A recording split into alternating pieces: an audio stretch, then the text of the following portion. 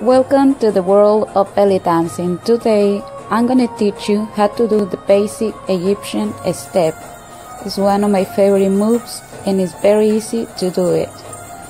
Start by bringing your shoulders back, chest up, pelvic tucked under, and knees slightly bent.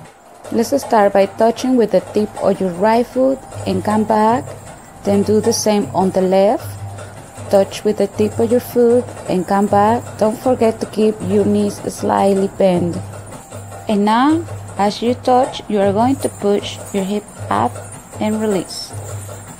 And the other side, lift, drop, lift, drop. Try to practice a few times before we go to the next step. Keeping your chest lifted and your knees bent at all times. Now we are going to add the arms. One arm is going on the top of your head and the other one is going to be stretched in front of you. And switch your arms every time. One on top of your head and the other one is stretched in front of you. Now let's put the three steps together. The hand that is stretched is the hip you're going to use. And keep switching. And this is the basic Egyptian step. Let's try that with music. Have fun while you practice this step. And keep in mind that in order to master a belly dance move, you have to practice every day. So keep practicing your belly dancing moves. Let me know what you think about this belly dancing move.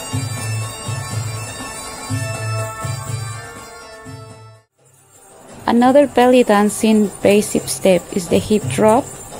and I'm going to teach you how to do it.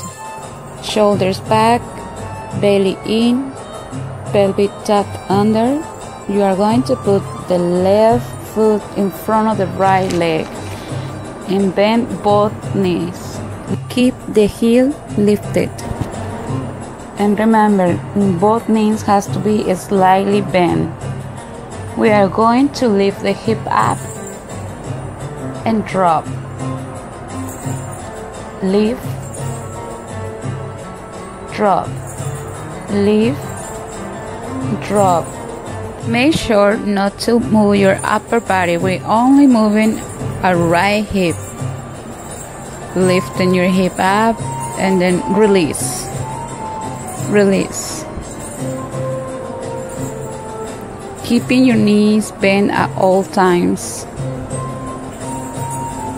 Let's try that a little bit faster.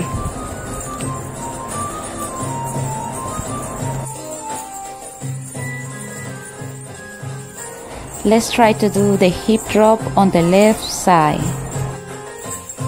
Your left hip up by contracting your side abdominal muscle and then drop the hip by pushing it down keeping your weight on your supporting leg. Make sure that your chest stays high and lifted and don't bend or collapse in the hips.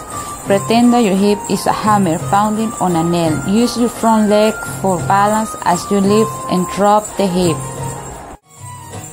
And this is the basic hip drop.